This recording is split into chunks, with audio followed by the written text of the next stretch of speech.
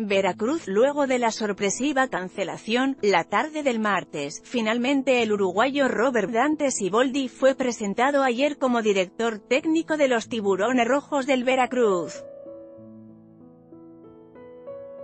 El nuevo estratega Escualo aseguró que acepta el reto de tomar al peor equipo de la liga, circunstancia que que no le espanta y está dispuesto a hacer bien las cosas para sacar al equipo de la crisis en la que está metido. Todos lo ven como un problema, yo lo veo como un campo de oportunidad, explicó el estratega campeón con Santos Laguna. Sobre la responsabilidad que tendrá desde la jornada 1 de pelear el descenso, Siboldi aseguró que no le asusta el panorama y está listo para asumir el reto. Estoy acostumbrado a jugar descensos.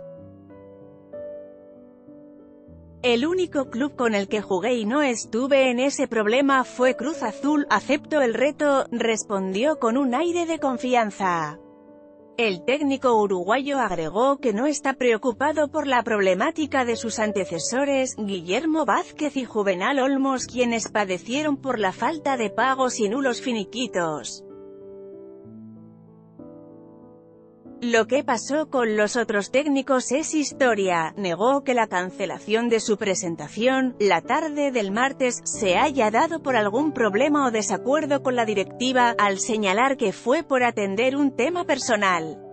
El nuevo técnico de Tiburones llegó acompañado por sus auxiliares, Gonzalo Sigliuti y Carlos Cancela, así como el preparador físico, Pablo Sanguinetti.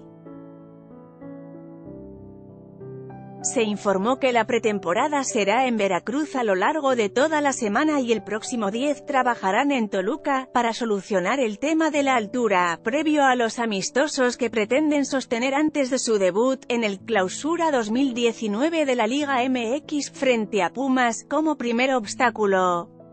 Durante la presentación del técnico, Mario Trejo explicó que la directiva está convencida de que Siboldi y su cuerpo técnico son ideales para sacar adelante al grupo. Apuntó que se trabaja en la conformación del plantel, al revisar las bajas para definir la lista de transferibles y buscar los refuerzos necesarios. Sobre el escándalo sexual en el que se vio involucrado el club jarocho y sus fuerzas básicas, Trejo reiteró que el equipo no tiene nada que ver y que una vez que se aclare, René Isidoro García regresará a su rol de técnico de la SV20. Posteriormente, Siboldi dirigió su primera práctica ya como estratega escualo.